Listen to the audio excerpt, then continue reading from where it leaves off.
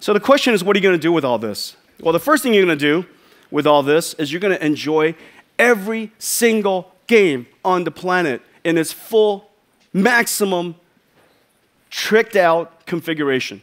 And you're going to enjoy it nice and silky smooth. And you're going to smile all the time. You're going to have a dumb grin on your face like mine all the time. Where's your dumb grin? all the time. All the time. But what else can you do? What else can you do? Well, uh, we have a special treat. I love this man. We've been working together now in our industry for a quarter of a century. Few have made a greater contribution to the advancement of the technology and the art of video games than this man. Ladies and gentlemen, please welcome Tim Sweeney.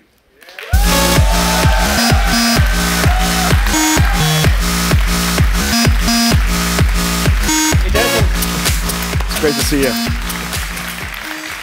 Now, you don't get an introduction like that every day, brother. Yeah, that's- Paragon. What is Paragon? I don't know what you. Wait, I don't even know what you're talking about. I don't. Are you? a- Are you? Are you? Are you one of the early, early adopters, early uh, previewers, game testers of Paragon? All right, you're the man. All right. So, so, anyways, um, we could talk about all kinds of stuff. We can spend here. We can. We can talk all night. And, and then tonight, after after this, we will talk all night. I mean, there's so much that's happening in the game industry. I mean, one of the first things, of course, uh, 25 years ago when we first started both of our companies, uh, and we were trying to bring uh, revolutionize gaming with PC gaming. Uh, there was a lot of technology to, to create. There were, there were a lot of issues in the, in the industry, but we worked through an enormous amount of it. So the, the, the one thing that you and I really, really share and is our belief that the PC gaming platform is an open platform is one of the reasons why innovation happens. You know, could, could you, uh, what do you think about that? yeah, absolutely. You know, it's the openness of the PC platform that's made it uh, the center of innovation for the entire technology in, industry for at least 30 years. Um, the GPU revolution um, started right here on PC uh, before uh, DirectX even um, with OpenGL and its predecessor libraries. The VR revolution now is being driven on PC, where the open architecture means that you can combine NVIDIA GPUs and uh, VR headsets from multiple manufacturers together, and everything just works. Uh, it's, uh, it's an awesome platform, which means that developers from a wide range of industries with a wide range of games and uh, different tastes can all contribute to it in Yeah. amazing ways. It's, it's the world's best platform for, for all kinds of gaming, whether it's MMORPG, whether it's uh, first person shooters, it's going to be the best platform for VR. It's, it's just the best platform for a lot of different things for that very reason. That, that the entire world, the smart engineers of the entire world, can all contribute to making that platform better. And because it's wide open, it allows all of us to, to innovate at will.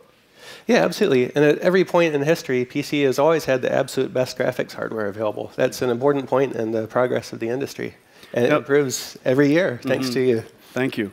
And so, but if, it, if, it's, if, not, if, not for, if not for Unreal Engine, Unreal Engine, all of that horsepower would be in the car and nobody would be able to enjoy it. and so, so uh, no, you know, it, it, is, it is really not an understatement. And I think all of these people in the audience would, would surely agree that, that uh, if not for the Unreal Engine, computer graphics today, uh, gaming graphics today wouldn't be nearly as beautiful, nearly as advanced as, as it is. Thank you. And so, so Tim, we're here, we're here to talk about, and you, you and I haven't spoken yet, and I'm dying to know what you're going to say. And, and so, and we, we just never rehearse. That's our thing. And, and so we got to just talk on stage. I mean, the, the thing that, that I'm dying to know is what are, you, what are the things that you can do when, when you have graphics performance like a 1080 and um, uh, you have capability like Pascal? What, what are the type of things that we can look forward to in terms of the future of gaming graphics? Well, you know, this new level of performance you're delivering really bridges the gap. You know, historically, there have been two branches of the computer graphics industry.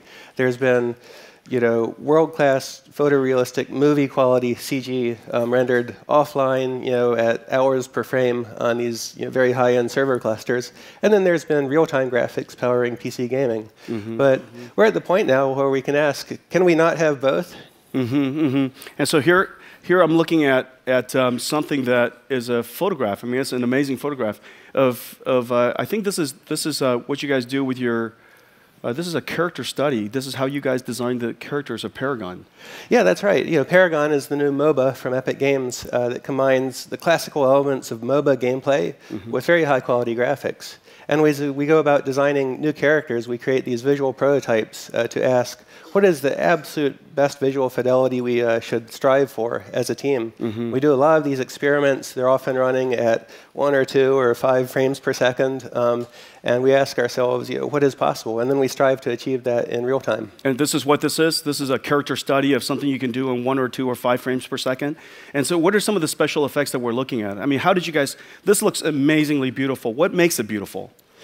Well, we're seeing, seeing a very realistic material model, um, yeah. physically based material model that simulates the microscopic interactions between light um, and the properties of a material. Mm -hmm. So you get really nuanced appearances to the metal on the character's uh, armor um, and the light transfer through his skin, um, the shading on the hair, uh, and all of these other uh, physically based effects, which we now generate not by just sitting down and winging it, but we actually study real objects in the real world uh, hair of real people, um, skin.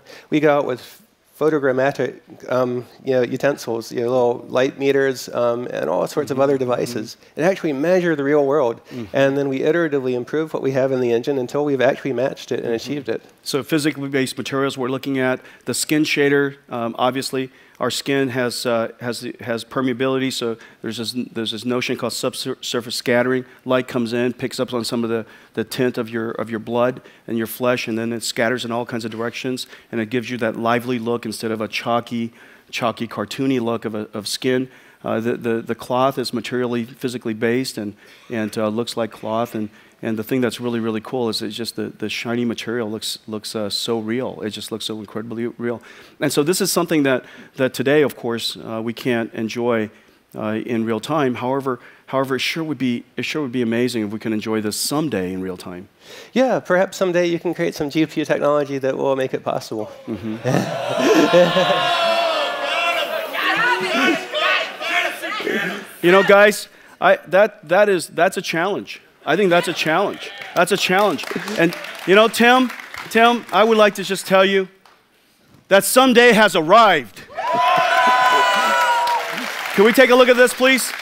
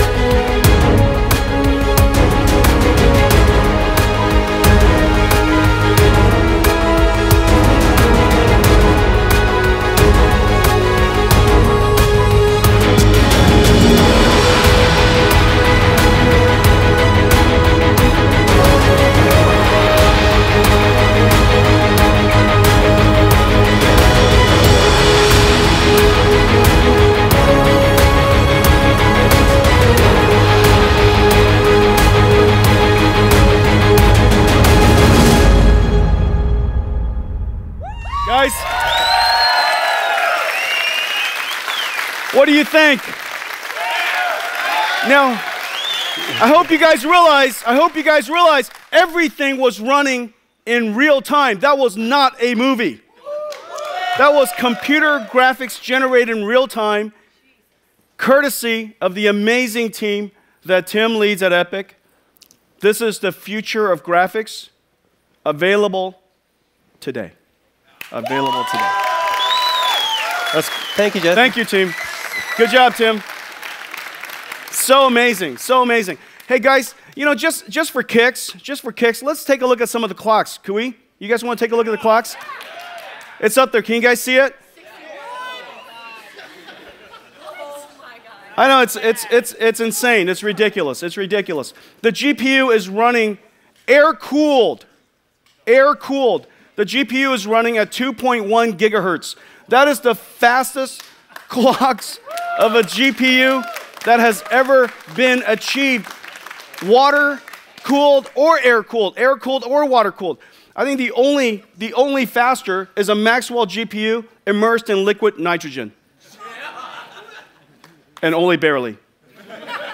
and only barely. Because of the amazing craftsmanship, because of the engineering that has been done on this product, its overclockability is just incredible. And look at that, it's running at just a nice, cool as a cucumber, 65 degrees C. 67 degrees C.